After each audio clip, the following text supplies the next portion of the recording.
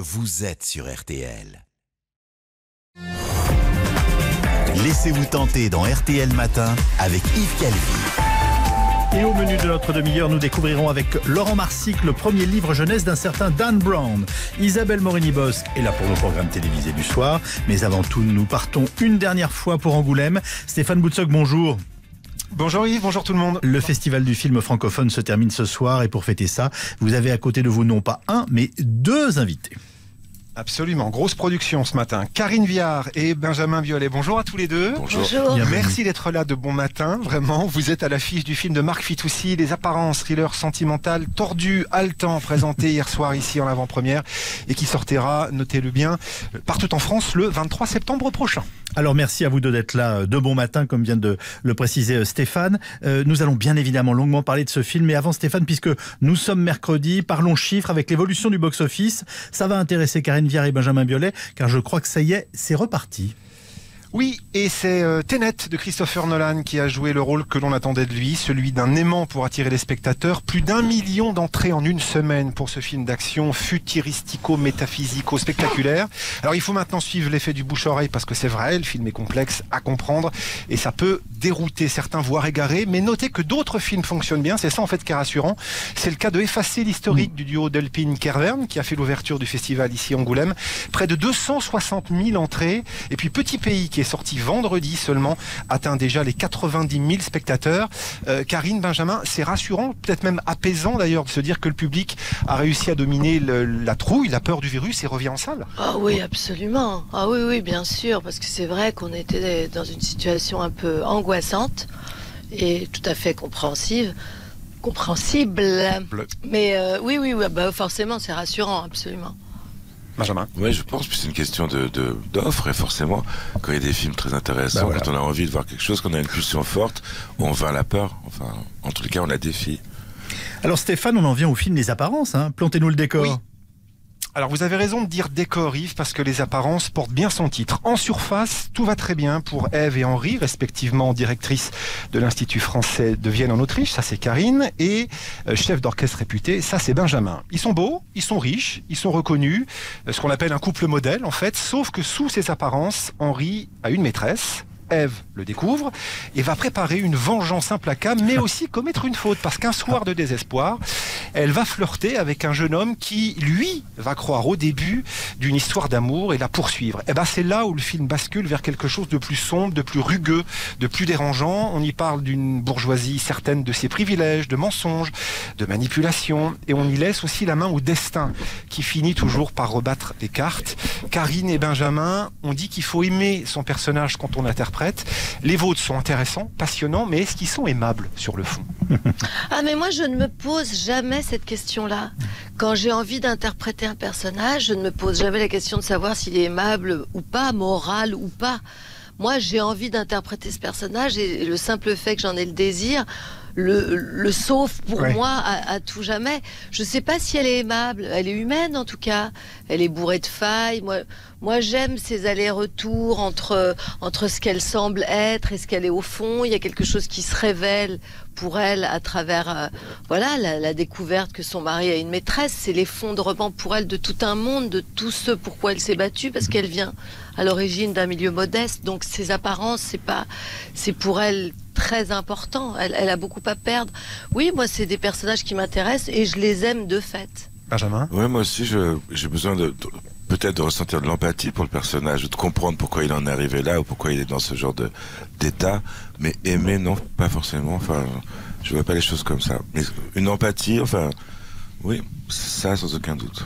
Dites-moi, ce film, c'est aussi l'occasion de vous voir tous les deux pour la première fois ensemble à l'écran, euh, en plus dans la peau d'un couple. Eh ben voilà, c'est la question que j'allais vous poser. Alors, vous vous connaissiez avant euh, et, et comment s'est passée la chimie de la rencontre, si je puis dire? Ben, moi, je connaissais Benjamin parce que j'adorais ses chansons. Je les adore toujours. J'étais allée Ah à ouais, un fait concert. flipper.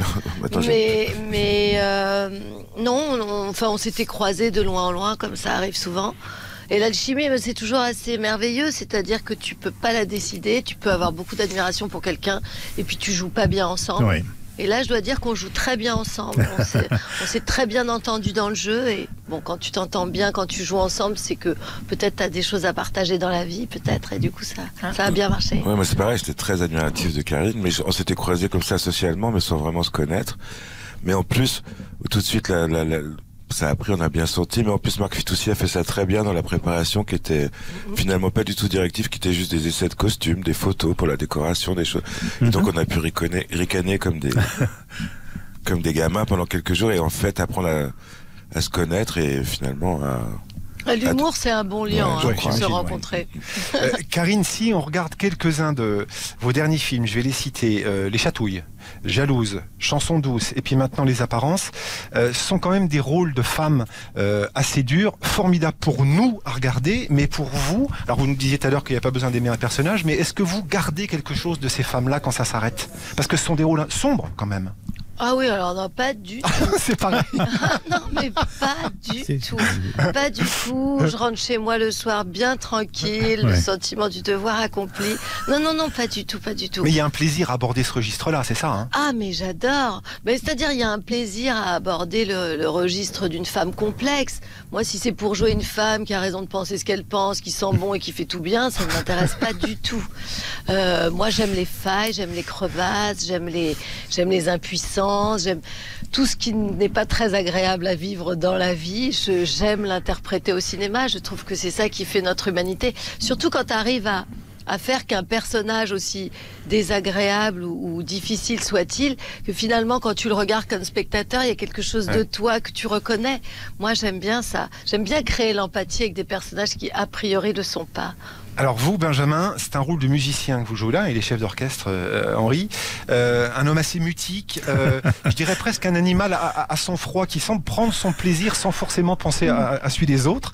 Est-ce que la musique, ça peut aussi isoler quand on est en période de création, et ça vous arrive quand même régulièrement, et, et- et- et vous couper, entre guillemets, du reste du monde? Oui, parfaitement. Puis je connais quelques chefs d'orchestre, j'en ai croisé dans ma vie. C'est des gens qui vivent dans une bulle tout à fait spéciale.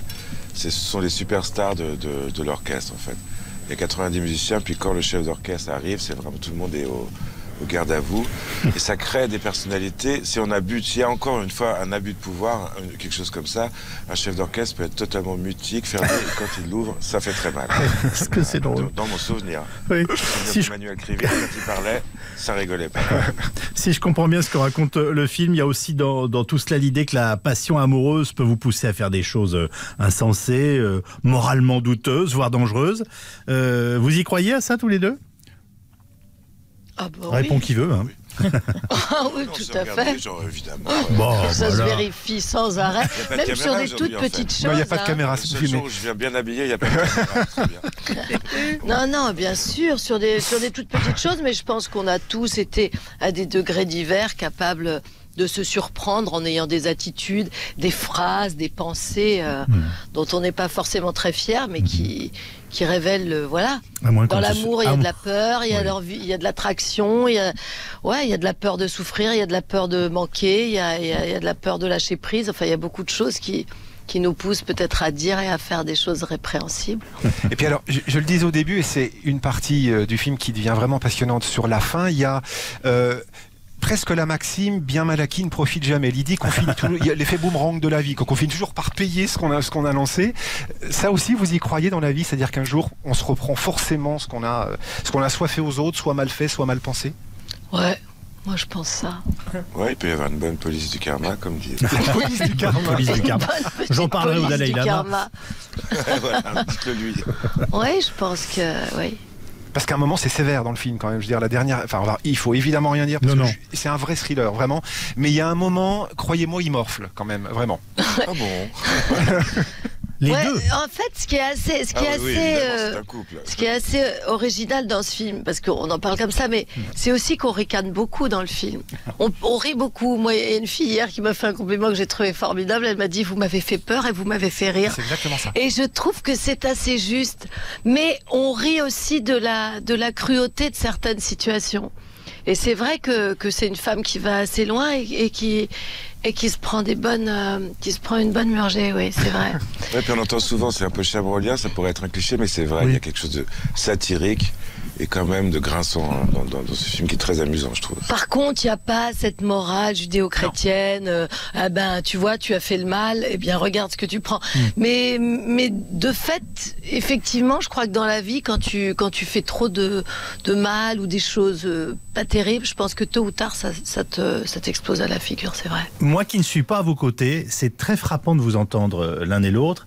Euh, vous êtes un vrai couple de cinéma parce que vous vous, vous répondez avec une, une- une aisance extrême. On a l'impression, franchement, qu'il y a une complicité alors que vous connaissiez peu. Vous nous l'avez dit au début de cet entretien. Et, là, c'est d'une fluidité. non, non, mais c'est d'une fluidité incroyable dans la façon dont vous parlez de votre film et de vos personnages. Vous vous en rendez compte?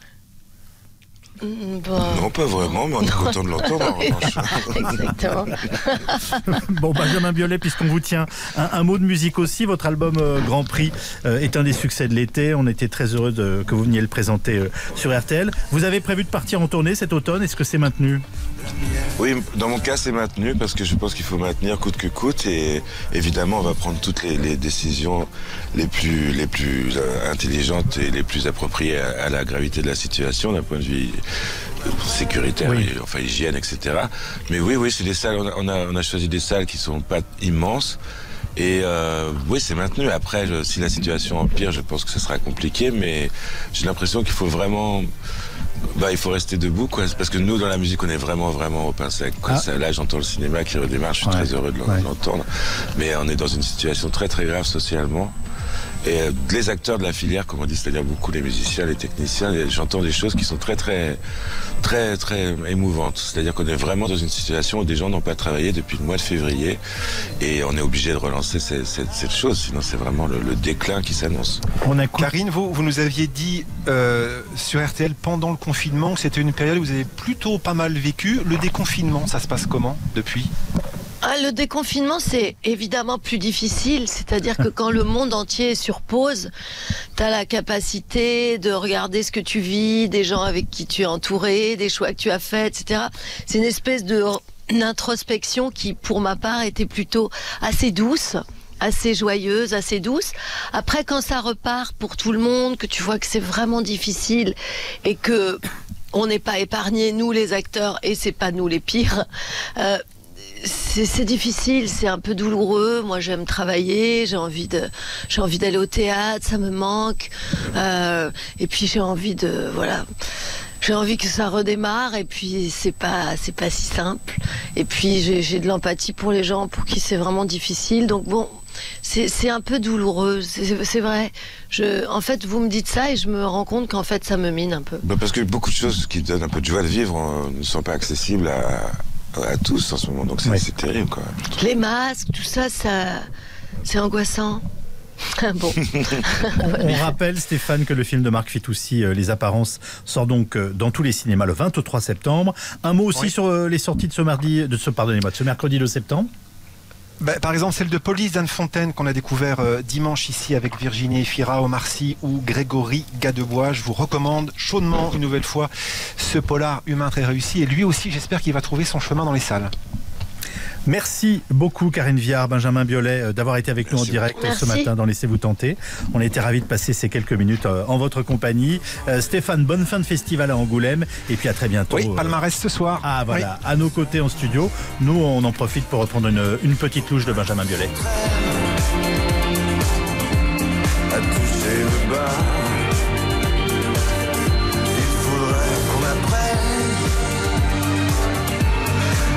Avec ça. Comment est ta peine La mienne s'en vient, s'en va. On a passé un bien agréable moment avec euh, nos deux invités. Dans un instant, la littérature jeunesse avec un événement, euh, un événement Dan Brown. Je vous en dis pas plus. Laissez-vous tenter dans RTL Matin avec Yves Calvi. 9h16, merci d'écouter RTL Littérature Jeunesse à présent avec un événement planétaire. Dan Brown, l'auteur du Da Vinci Code, publie aujourd'hui son premier album jeunesse musical baptisé La Symphonie des animaux, sorti dans 27 pays en simultané, euh, dont la France. Laurent Marsic, bonjour. Bonjour. Vous avez lu, écouté et surtout savouré cette Symphonie des animaux de Dan Brown. On est entre le Carnaval des animaux de Camille Saint-Saëns et Piccolo Saxo et ses amis, pour Ah, vous situer un peu même, bah oui. Dan Brown explique que c'est en puisant dans sa propre enfance qu'est née l'idée de ce livre. Quand j'étais petit, mes parents ont décidé de ne pas avoir de télévision. Alors j'ai appris le piano et j'ai beaucoup lu. J'adorais la musique et je l'aime toujours. Alors il m'est venu une idée pour partager cet amour avec les plus jeunes. Non seulement écrit l'histoire, mais il a aussi composé cette musique, cette partition musicale qu'on entend et qui nous entraîne donc au pays des animaux, où chaque animal a un don, il joue d'un instrument. Notre guide s'appelle Maestro, c'est une petite souris, un chef d'orchestre, qui a pour projet justement de monter un orchestre. On va au fil des pages croiser ainsi une baleine bleue géante, une autruche peureuse ou encore des sangliers dansants. Chaque animal a un caractère et c'est la musique qui le raconte. Pour chacun des animaux de cette symphonie, j'ai composé une musique qui reflète chaque personnalité. Qu'elle soit endiablée comme les kangourous sauteurs ou fofolle comme les scarabées débordés.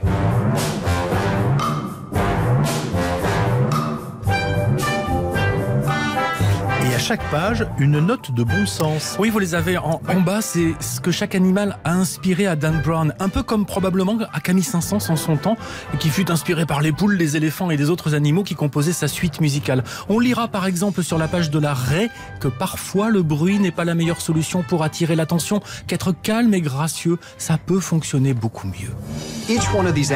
Chacun de ces animaux, en plus de jouer un instrument, offre au lecteur une petite graine de sagesse, un secret de vie. Les grenouilles de l'étang nous encouragent à être vraiment nous-mêmes.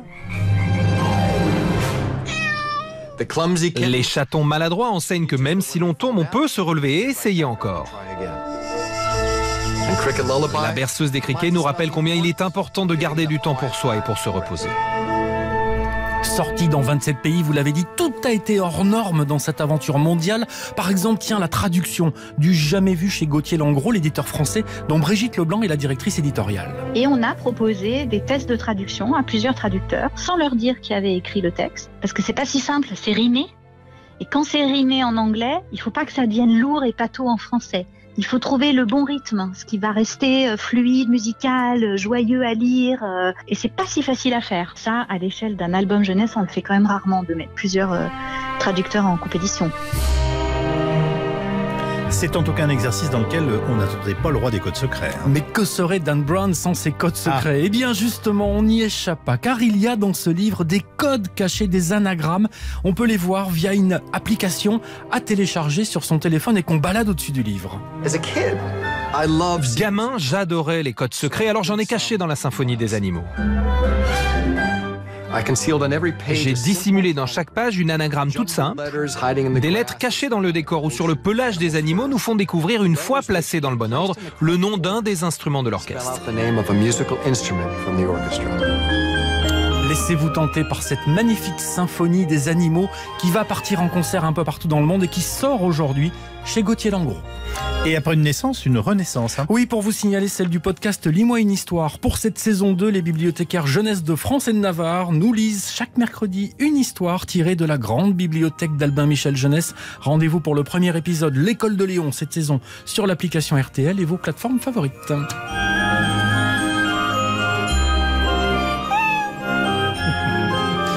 J'ai l'orchestre au grand complet hein, là euh, devant moi. C'est vraiment charmant et on a passé un excellent moment. Merci beaucoup Laurent Marsic. Dans un instant, nous parlons télévision avec Isabelle Morini-Boss. Laissez-vous tenter dans RTL Matin avec Yves Calvi. 9h22. Bonjour Isabelle Morini-Bosque. Bonjour. Ce jingle nous annonce les audiences télévisées de la veille Eh avec écoute- Médiamétrie. Oui, eh bien écoutez, mercredi dernier, il y avait 29 000 téléspectateurs d'écart entre La Stagiaire et Big Little Lies, à l'avantage de Big Little Lies, pardon. Eh bien cette fois-ci, la tendance est nettement inversée, puisque La Stagiaire rassemble près de 5 millions de téléspectateurs, et du coup, Big Little Lies n'en réuni que 2 800 000 à la louche. Ben, ça veut dire que ça barbe les Eh téléspectateurs. ben, s'il reste ça veut pas. dire que c'est le, le- la, complexion de la, la complexité de la réalisation. Et ben euh, voilà. En télévision, il faut être simple. hein. Bon, Et la stagiaire, c'est simple et intéressant et drôle. Donc voilà. c'est tout pour les audiences. Et c'est tout, ben, les, pouvoirs du corps humain, c'est très bien. hein, Ah, bah, Enfin, près de 2 millions 200 000, vu que voilà. la stagiaire rafle Michou. tout, c'est pas si mal que ça. En famille, 2 millions. Et alors, côté TNT, Oui. on signale que Banzai, Banzai 900 000 sur euh, Énergie 12, sur euh, TFX, c'est pas mal. Voilà. Très bien.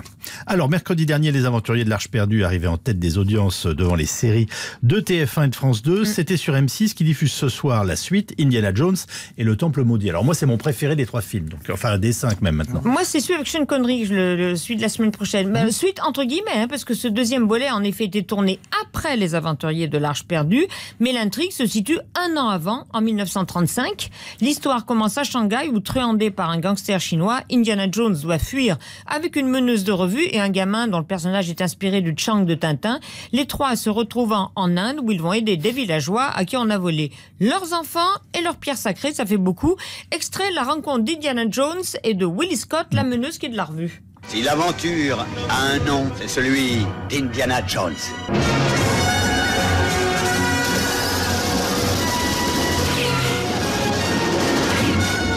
Me choque, moi. Je suis un scientifique. Quel genre de recherche feriez-vous sur moi Hmm, activité nocturne, Ma position favorite pour dormir fréquence des rapports. Parce que vous faites autorité en la matière J'ai des années d'expérience pratique. Il vaudrait mieux que vous dormiez près de moi. Oh, par sécurité, bien sûr.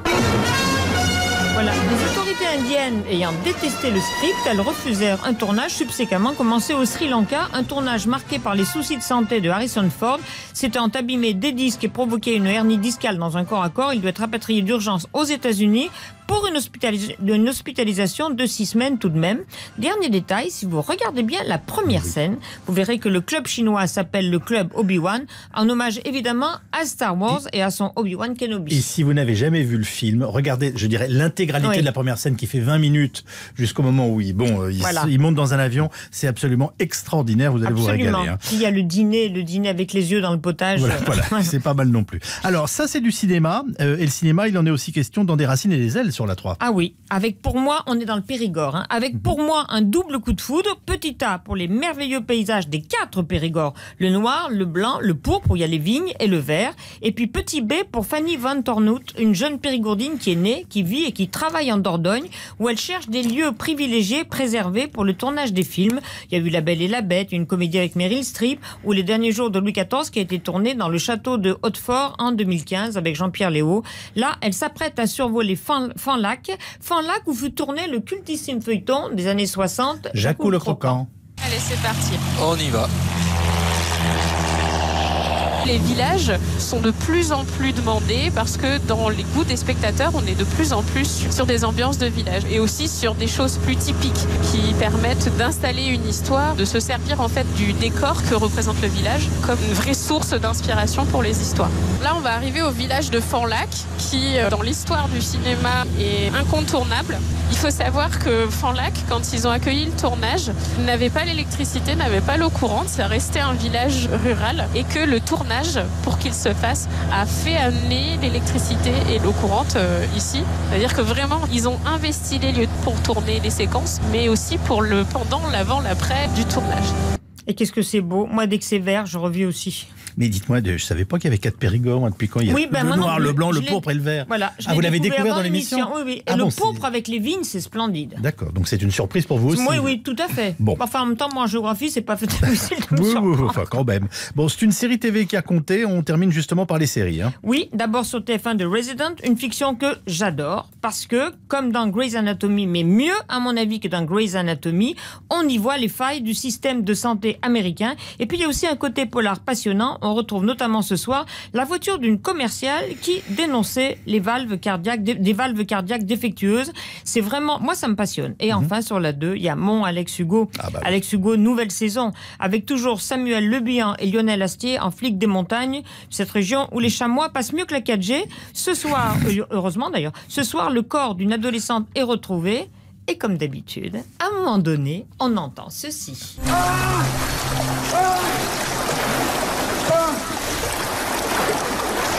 C'est votre scène préférée à chaque fois, c'est quand il est à poil voilà, dans un, C'est le un moment où, à la 26e Voilà. minute, il se lave cul nu dans une rivière à entre 4 et 6 degrés. Il touche le fond au sens propre et ça tombe pile poil, si j'ose dire. Et il est de dos et dessus. Vraiment, vraiment, vraiment, il tient la route, comme on dit, même si c'est dans l'eau. Vous avez consulté récemment parce que ça, ça devient c'est- obsessionnel. c'est juste le plaisir des yeux. Bon, merci beaucoup Isabelle Morini-Bosque. L'intrigue est bien. hein. J'entends bien. Dans un instant, on va retrouver Julien Courbet et toute son équipe. RTL Matin, laissez-vous tenter. Alors à 22h c'est Caroline, mais à 9h30 c'est surtout Julien. Bonjour cher Julien. Bonjour Yves Calvi Oula, vous êtes en forme vous. Laurent Jalabert, bonjour Bonjour ça c'est RTL. J'ai écouté ça ce matin, je me suis dit, il faut dire bonjour comme ça. C'est magnifique. Il y a des radios, ils disent bonjour, euh, bonjour. Attends, c'est venu, c'est oh, écoutez, Paco ce matin.